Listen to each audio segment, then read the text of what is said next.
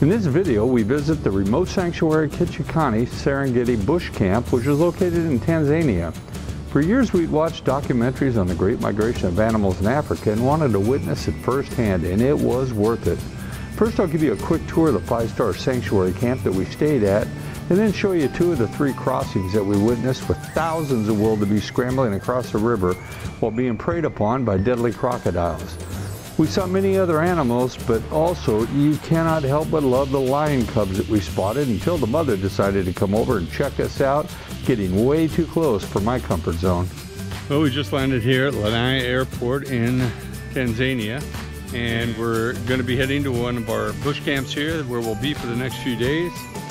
Uh, nice dirt runway out here that we came in on, smooth ride over from Kilimanjaro Airport, and there's a lot of flies here too. So Let's see how this video goes.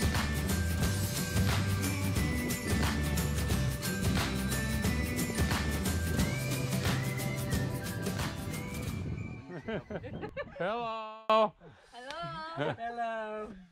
You'll be movie stars on video. Hey. on YouTube. You're watching movie. Oh, are ya?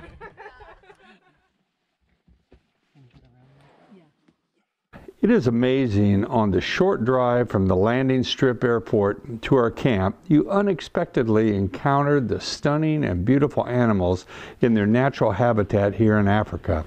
We never tire of seeing these massive male lions who are just feet away from our vehicle and they definitely get the adrenaline flowing. What's he looking at?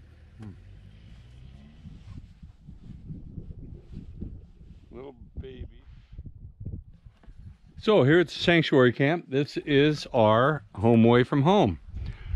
Walk up, let's take a look at it. Literally located out here in the middle of nowhere. A couple chairs outside. This is for shaving if you want. There's some water in there. Got a nice mirror, fire extinguisher. Moving into the uh, tent here. Got a huge king size bed, super right. comfortable. I tested give you a flashlight, which does come in handy a fan, some umbrellas over here, place for your luggage. Very efficient, actually. Another nightstand over there. It's all bottled water. Moving back here to the uh, sink area. We have a tent here. This is for the shower. Toilet. Place for storage over there. Kind of interesting. Uh, your room steward comes, he has a bucket on the outside. Give him about 10 minutes notice. He fills it up with uh, warm water. That's for your shower. So Absolutely gorgeous, which we'll look at in a minute. But this is how we're forced to spend our evenings with a cocktail out here. Some young lady over here. So we're coming inside. We're going to take a look at the lounge area in here and we're going to have dinner now. And there's our great bartenders back here. Yeah. Uh, you love it. Yes.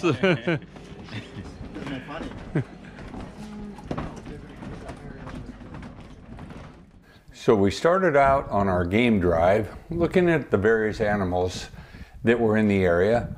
And then the radio came alive with chatter that a crossing had started. So our driver wasted no time getting over to the river. The Great Wildebeest Migration is the largest animal migration in the world. Every year, more than 2 million animals such as wildebeest, zebra, and gazelle migrate in a clockwise direction across the ecosystems of the Serengeti in Tanzania and the Masai Mara in Kenya, Africa. Truly something amazing to see. As we had gotten closer up to the shore, I had asked the driver if it'd be okay if I got out of the vehicle and stood up there on the cliff to overlook the animals coming up. He kind of laughed at me and looked at me as though I was crazy.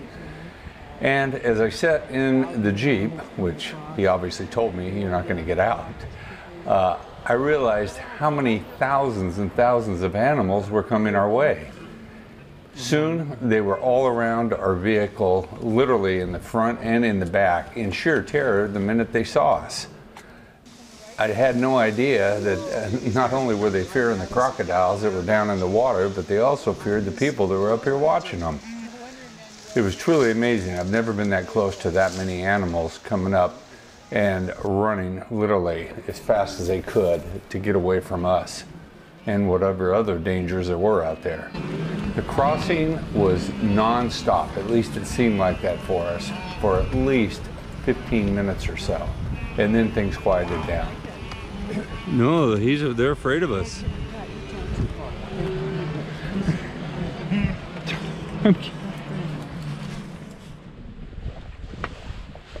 Our driver decided that we should check out the other side of the river and see what kind of animals were over there. So we went on one of the finest bridges I've ever seen in Africa. Not. As I looked at both sides thinking, if we go in on either side, I have no idea how we're going to get out of this water. And then we noticed a lot of predator birds that were up in front of us. Couldn't figure out what they were doing. And we realized they'd been snacking on some of the dead animals. So that was a few dead wildebeest that had probably drowned while they were doing the crossing.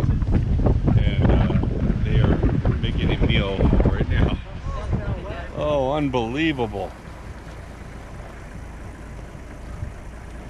They took them apart in the last hour. All right, guys, go back to it. Go back to. Going like what? There you go. Go on. There's a two fishy goes still in the. Oh in yeah, in the tree there. Yeah. Oh neat. Okay, we just saw one crossing. Now we're heading over to crossing zero. We're just at crossing number one.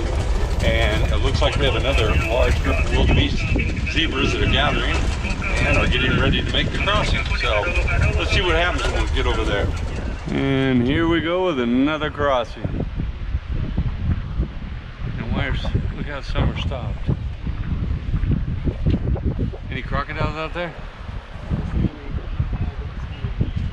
And the information that came over the radio was very accurate. We had another crossing. We had now seen our second crossing, and when some people are lucky even to see one, we later ended up seeing a third, which is really, really amazing.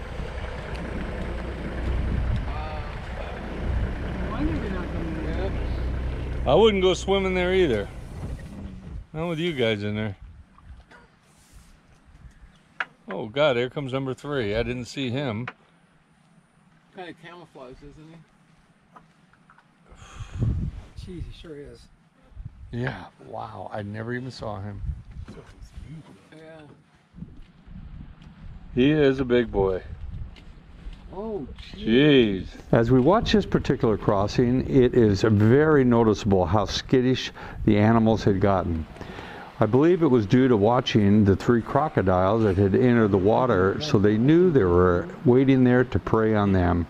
Someone was going to be unlucky, and sure enough, we did see one that got taken down. That stopped the crossing and put the animals on both sides of the river. Later on, they would end up crossing again to join back up with the group. So we're going to go out on an evening drive. We call it a sundowner, and we're going to see if any of the predators are out and what else is out as things are starting to cool down now. And sure enough, the animals were out on the hunt. First thing we came across was a couple of the cheetahs, and they were out looking for a meal. And then we came across the little lion cubs. We had driven by where the mothers were previously. One of the mothers was out hunting and uh, the other was protecting the cubs. And she didn't like us being in the area at all. But tonight, the two mothers were present and they weren't really alarmed by our presence, at least at first.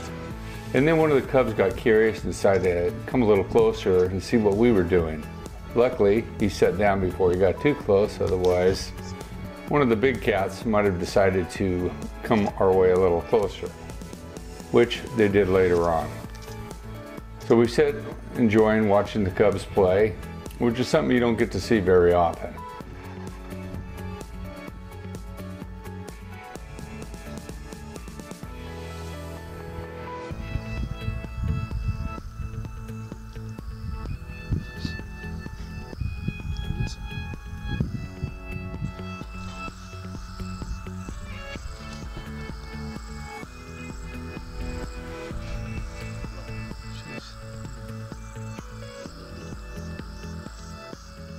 A short time later, one of the females decided she'd go and come over to a little stream that was near us and get a drink.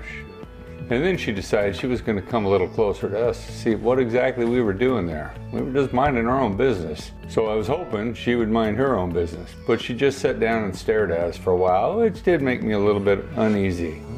Finally, after getting a little bit closer, she decided we weren't a threat, turned around and walked away. Not without me doing a little sweating.